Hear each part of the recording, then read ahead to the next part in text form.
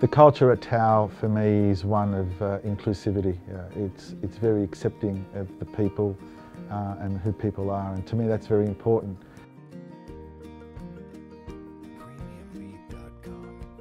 So we actually measure the culture at TAL. Um, we have a survey that goes out to every employee every year and um, we then measure the values which then forms the culture.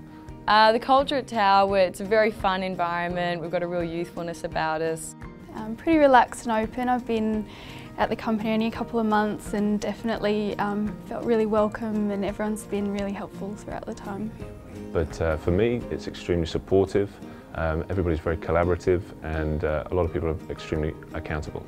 Uh, we have, yeah, we have a lot of fun here um, and we have a, we're very empowered to, to make our own decisions and to make decisions that we might not have made before. The one thing that's been really common at TAL, which I love, is that they give you full responsibility for what you're in charge of, but they just kind of get that you have a family.